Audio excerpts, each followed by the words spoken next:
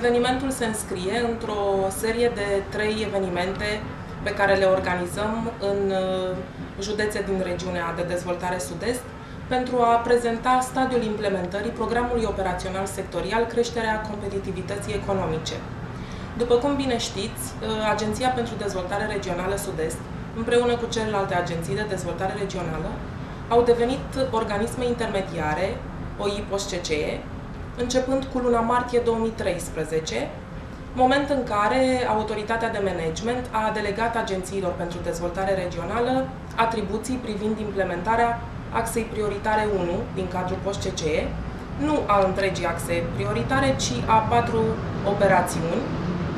care vizează acordarea de sprijin financiar pentru IMM-uri. Vorbim de proiecte de investiții, în cadrul cărora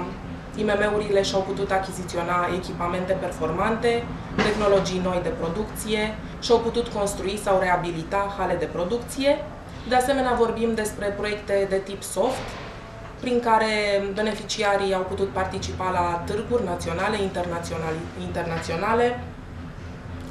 au, uh, și-au putut realiza studii, strategii de dezvoltare a resurselor umane, planuri de marketing, și de asemenea proiecte de standardizare în cadrul cărora beneficiarii și-au putut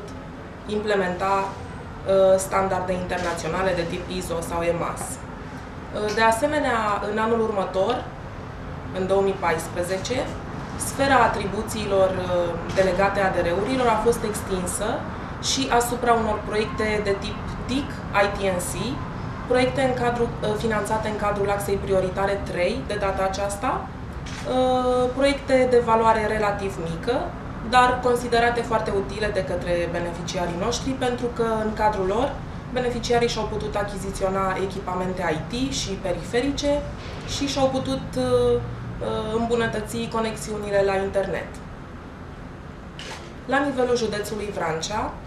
vorbim despre 69 de proiecte finalizate, cu o valoare a finanțării nerambursabile de peste 11 milioane de euro, din proiectele finanțate este îmbucurător să constatăm că o pondere foarte mare o au proiectele de investiții, peste 60% sunt proiecte de investiții, iar ca valoare,